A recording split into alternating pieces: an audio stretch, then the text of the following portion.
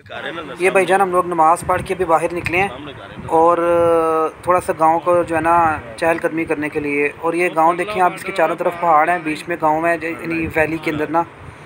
और ये सामने जो पहाड़ है, ये वाला, ये जिस मैंने उंगली की है ना, ये अफ़गानिस्तान के अंदर है, यानी अफ़गानिस्तान बॉर्डर के ऊपर ये पहाड़ है। और बाकी गाँव के मनाजिर आपको मैं दिखाता हूँ, आप देखिए हर तरफ़ बहुत ही ज़्यादा हरियाली है और बहुत ग्रीनी एरिया है सारा। और मौसम भी बहुत अच्छा है। और बहुत मज़ा आने वाला है इंशाल्लाह। ये भैया अली शेर है फुल मस्ती माहौल के अंदर। वाह ये हमारे मलिक साहब है। मलिक साहब को भी नींद आ रही है। मलिक साहब भैया पता नहीं अखीर ही मतलब ना लगता है साल भर सोते कोई नहीं है।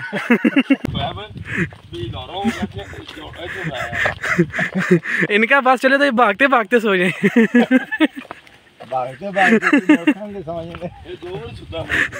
ठोकी नहीं है मोटरसाइकिल की?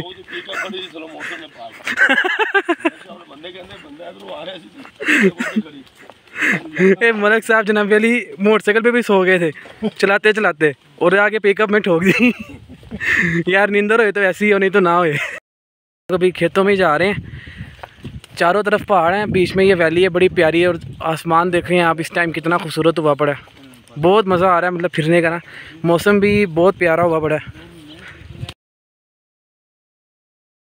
से तकरीबन हमें सात आठ मिनट लगे हैं और ये देखें खाई पता नहीं आपको नज़र आ रही है कि नहीं ये फुल नीचे खाई है मैं आपको दिखाता हूँ।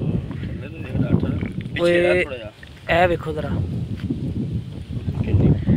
और मैं आपको एक बड़े मज़ेदार चीज़ दिखाता हूँ एक मिनट। ये पहले तो आप ये खाई चेक करें ज़रा। ये पता नहीं आपको सही तरह नज़र आ रही है कि नहीं आ रही।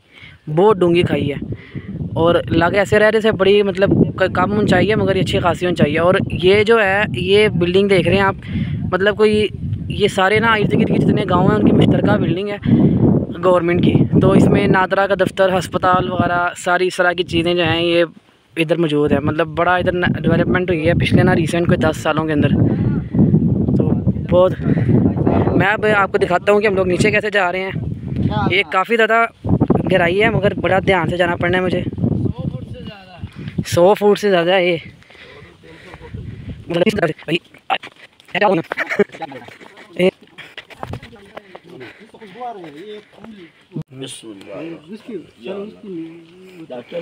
लो जी। अली अलीशर भाई जा रहे हैं नीचे। मौत के कुएँ में जाते हुए। नहीं कोई बात नहीं बूढ़े तो। ये कारी साहब जा रहे हैं। और ये मलिक साहब अगर मलिक साहब चले गए फिर हम लोग भी चले जाएँगे।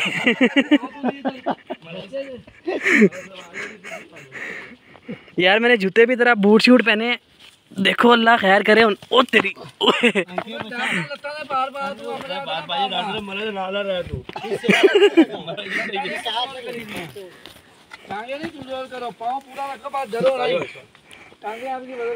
ये तो जोगर पहन कर आने चाहिए मैं बूट पहन कितनी तो ये पर हो इधर हैं कैमरे इधर बाकी सीधी चाहिए बाकी सीधी बाकी सही ये सीधी सीधी ए जी पीछे और मज़ीद उतर आई है भैया भी ये अब हम लोग एक गाँव से दूसरे गाँव में जा रहे हैं हाँ दूसरे पहाड़ वही ना ये बताइए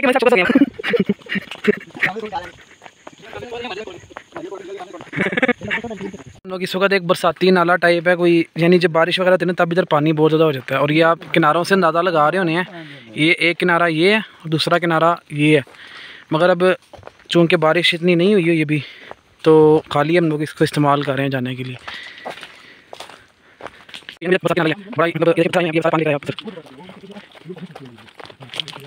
ये भाई जान हम लोग अब थोड़ी देर के लिए बैठ गए हैं आराम करने के लिए। और थोड़ा सा आराम करके फिर हम लोग मस्जिद आगे जाएँगे।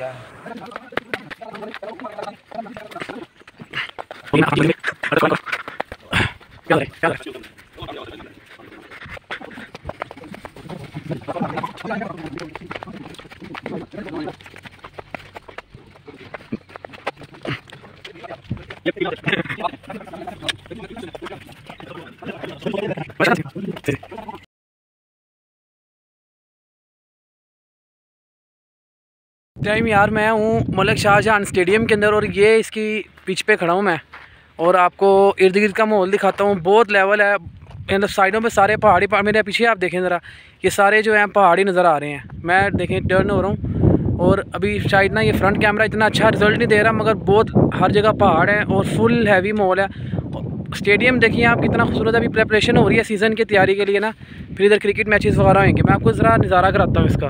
ये अगर आप देखें तो ये मेहमद एजेंसी का पहाड़ है मतलब ये पहाड़ इसके हाँ इसके पीछे जो है मेहमद एजेंसी है। और ये वाला कौन सा है? दीर और मालाकंड का? स्वाद। वगैरह। वो इसके पीछे सारा दीर और स्वाद शुरू हो जाता है। और ये इस वाले के पीछे अफ़गानिस्तान है। मतलब आप देखें, चारों तरफ़ से ये कैमरे में शायद बहुत छोटे छोटे नज़र आ रहे हैं, मगर हैं बहुत बड़े बड़े पहाड़। ये हम लोग वापसी करने लगे हैं। और ये मेरे पीछे भी एक एक दफ़ा फिर आप देख सकते हैं। क्या ही हसीन मनाजिर है मतलब। बेली तीनों तस्वीर का पोज बना के खड़े हैं अबू अली शेर और मलक साहब। मलक साहब का बस में चला यहाँ पर भी सोचें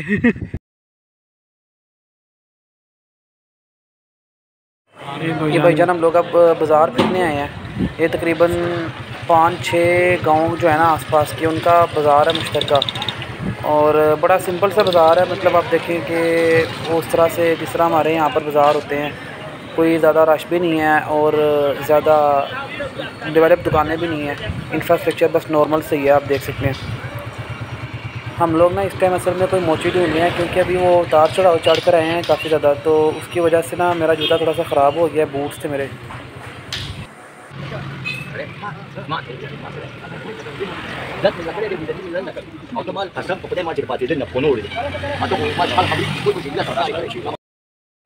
ये भाईजान, आप गाड़ी देख लें ज़रा गौर से। और मैं कीमत इसकी आपको बता देता हूँ, इसकी कीमत जो है ना मुश्किल पाँच लाख रुपए है। और इसकी जो स्टोरी है ना, मैं आपको आगे भी लोग में इंशाल्लाह तफसील से बताऊँगा। हाँ भाई।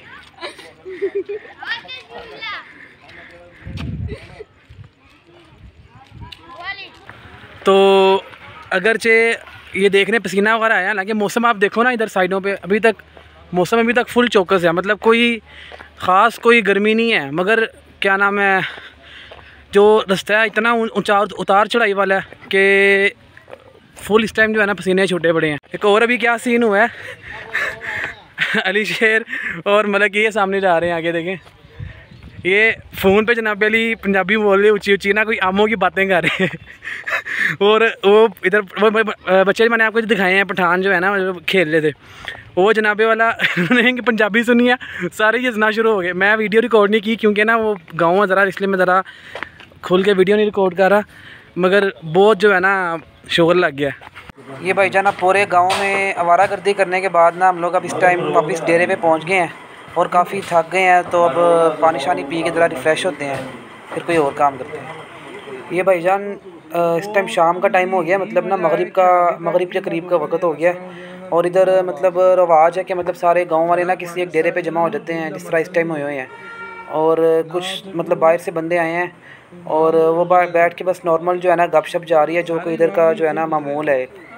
ये भाईजान सारे फलदार दरख्त लगे हुए हैं साइडों पे जिन्होंने खूबसूरती में मज़ीद इजाफा किया हुआ है। और इस टाइम आसमान पे देखें वंस अगेन बादल छाए हुए हैं। इधर ना तकरीबन most of most portion of the day जो है ना, वो आसमान बादलों से ही घिरा रहता है। और ये आप देखें, एक टिपिकल ट्रेडिशनल स्टाइल में दीवारें बनाई हैं। ये इधर की एक यूनिक चीज़ है, जो है ना, तूड़ी स्टोर करने का ना एक तरीका है। ये पंजाब में वैसे इतना कॉमन पंजाब में तो नॉर्मली जो देखा जाता है वो ये है कि तूड़ी का ढेर लगा के ऊपर लपाई कर देते हैं। इसके अंदर अगर आप देखें तो नीचे एक बेस बनाते हैं पत्थरों की।